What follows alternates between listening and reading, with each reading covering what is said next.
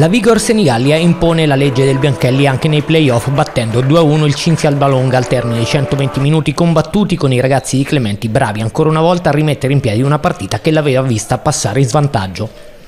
Dopo un avvio a ritmi più blandi di quelli visti durante la stagione e qualche innocua conclusione a fuori, a passare in vantaggio sono i laziali al 25 Dalla bandierina di sinistra Buono manda verso il primo palo dove Sbardella anticipa tutti deviando di testa alle spalle di Roberto per l'1-0. La Vigor reagisce e sfiora il pareggio alla mezz'ora con Baldini che raccoglie al limite scarico un sinistro potente e preciso indirizzato all'angolo alto, ma Santilli si supera e vola a deviare con un intervento prodigioso negando il gol del pareggio. Poi si torna negli spogliatoi con la Vigor sotto di un gol. Nella ripresa i rossoblù spingono forte e ottengono l'1-1 a metà tempo. L'azione della Vigor si sviluppa sulla verticale di sinistra con Gambini che libera di tacco la fuga di Cariota che mette in mezzo il pallone per Baldello che da due passi non può sbagliare firmando l'1-1. Gli ospiti restano con un uomo in meno a 10 minuti al termine dei tempi regolamentari per l'espulsione per doppia ammonizione di buono, ma riescono a reggere sull'insistenza della Vigor, trascinando la sfida ai supplementari. Anche nell'extra time sono i padroni di casa a tenere in mano il gioco e dopo aver sfiorato il raddoppio più volte nei primi 15 minuti mettono al sicuro la qualificazione al nono del secondo supplementare con Ballello che sfrutta il rinvio corto di Santilli dalla sua tre quarti per catturare all'altezza della linea di centrocampo il pallone e indirizzare in rete per il 2-1 che chiude il match. Mister D'Antoni serviva solo una vittoria, avevate trovato il vantaggio, poi avete subito un po' la reazione della Vigor Senigallia, rimasti in 10 si è fatta veramente dura. Sì, eh, vogliamo fare i complimenti a, a Senigallia perché ha fatto un campionato eccezionale, è una squadra che è in salute. Siamo venuti qua secondo me bene, abbiamo fatto fino, fino all'espulsione una, una, buonissima partita, eravamo, eravamo in partita. Purtroppo poi siamo rimasti in 10 e secondo me in una semifinale siamo rimasti in 10 troppo facilmente, l'arbitro non può, secondo me, una semifinale playoff mandare fuori un giocatore per un fallo dove eravamo in tre vicino alla palla, spalla a spalla, un intreccio, ci lascia in 10 e la partita poi diventa molto difficile, ci abbiamo provato fino alla fine, non ci siamo riusciti. Purtroppo quest'anno co, col Senigallia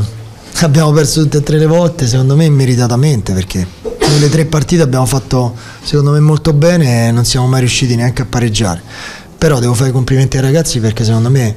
hanno interpretato bene la partita e ripeto sarebbe stato molto diverso se non fossimo rimasti in 10 Mister Clementi l'ennesima rimonta che vi porta nella finale dei playoff. Sì, una, una rimonta direi veramente bella, eh, in cui credo che sia stata una vigor di, di, di, qualità, una vigor sciolta, una vigor che ha che come dicevo durante la settimana ha, si è tolta un po' la, la, la, tensione di domenica scorsa, domenica è stata una partita, una giornata non bella, eh, soprattutto una settimana difficile da, da approcciare, eh,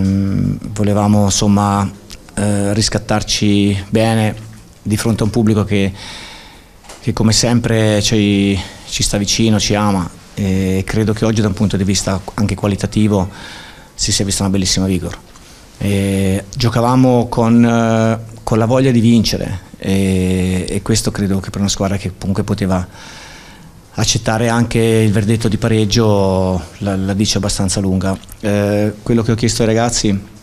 è di, di pensare il meno possibile, di, di mettere in campo la, la qualità eh, che hanno, l'entusiasmo che hanno, l'intensità e, e di giocare come se fosse una partita di campionato normale, anche perché questa è una squadra che non ha le caratteristiche né tantomeno nella maggior parte ovviamente dei, dei interpreti non ha quelle caratteristiche eh, di esperienza che ti permettono di gestire, di ragionare e domenica si è visto. Eh, domenica scorsa insomma, a Monte Giorgio abbiamo avuto una, una dimostrazione di come la capacità di, di gestire certe tensioni sia sia più facile se hai comunque dei campionati eh, importanti alle spalle. Quindi noi siamo questi, siamo questi che dobbiamo giocare di, di entusiasmo, di, di rapidità, di, con combinazioni, con entusiasmo e andare a cercare sempre di far gol. Oggi siamo andati sotto per l'ennesima volta, ancora una volta in questo campionato, abbiamo dimostra dato dimostrazione di essere una squadra eh, molto equilibrata e che quando gioca per vincere insomma, è sempre difficile da affrontare.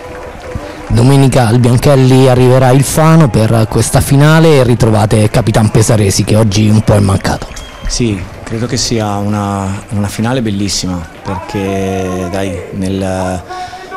mm, insomma, nell'attesa, nell'immaginario sarà, sarà, molto bello. Eh, siamo due società che credo hanno lavorato molto bene, il Fano mh, mm, forse è la squadra più in forma del campionato, il lavoro di Mosconi e dei ragazzi è, è incredibile, in questi, soprattutto in quest'ultimo periodo, quindi arriveranno molto carichi. Mm, noi da, dal canto nostro siamo comunque una squadra che credo sta bene e cer cerchiamo di godercela tutti, cerchiamo di, di essere tutti molto intelligenti, di, insomma, di, di vivere molto serenamente una bella partita una partita in cui magari si, si affronteranno eh, come sempre due, due, tipologie, un po' di, di, approccio alla partita, ma sicuramente entrambe molto valide visto i risultati. Eh, sarà, sono, dai, sarà bello e ripeto, eh, mi auguro che non ci sia nessun tipo di tensione extra campo e che, e che possiamo goderci sia noi che loro questa bella partita.